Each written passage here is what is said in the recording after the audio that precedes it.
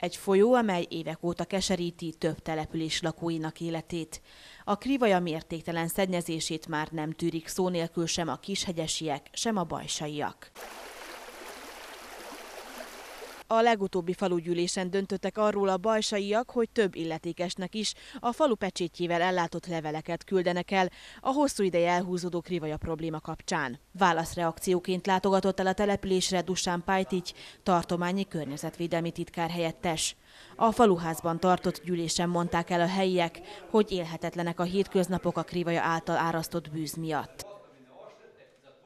A mindennapi létünk van veszélyeztetve, hiszen nap mint nap, ha kimegyünk az udvarra, akkor, akkor nem lehet nem érezni azt a bűzt, ami ott folyik, és hogyha az ember tovább gondolja, hogy, hogy a, az, az ivóvízünk forrásai, azok nagyon közel vannak a, a krivajához, és hogy milyen hosszú távú következményei vannak ennek, akkor jobb, ha az ember nem is gondol ebbe bele.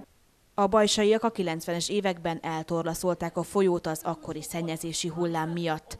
A gyűlésen több felszólaló is hasonló szélsőséges megoldást szorgalmazott. Úgy hiszem, hogy sokkal, sokkal, sokkal hamarabb kellett volna, és nagyobb számba, sőt, mi több nem csak az, hanem hangosabbak, hogy legyünk, hogy ne sejem kesztyűbe bánjuk a problémával. A titkár helyettes álláspontja szerint minden törvényes eszközzel élnek a szennyezés megfékezése érdekében.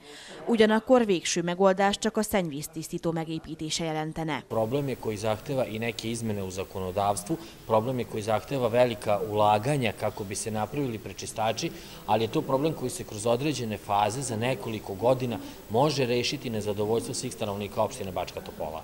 A községi vezetés dolgozik a szennyvíztisztító megépítéséhez szükséges pénz megteremtésén, de önerőből ekkora költségű beruházást nem tudnak egyedül pénzelni. A lakosok a tarthatatlan helyzet megoldását sürgetik, és további tiltakozó megmozdulásokat terveznek.